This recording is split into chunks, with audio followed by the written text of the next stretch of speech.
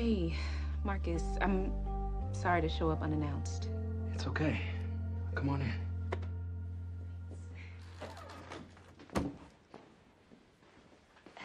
I need to be completely honest about something. I'm seeing someone else. I knew that was a possibility. But I'm willing to fight for us, Amara. Two days ago, you said something about timing, and I- I'm, I'm afraid we missed our moment. I don't believe that. Look, I've done the work in therapy, and it made me want something real.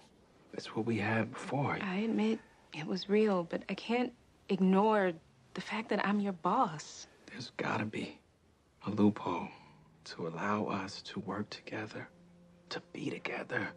We just have to find it, Amara. If it's what you want.